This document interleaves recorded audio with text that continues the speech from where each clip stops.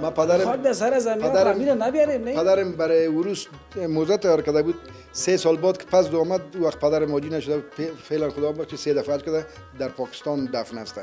باز می مشاورش گفت واجی سه پلوخ گفت پلوخ چی است ترجمانش گفت پلوخ خراب. گفت چرا خراب؟ گفت بوت جور کو ما یک سال بپوشیم نه سه سال. حالا خب مردم در سه ماه که میپوشه جیبکش خالی میشه با سه ماه باید یک جوری دیگه بخره.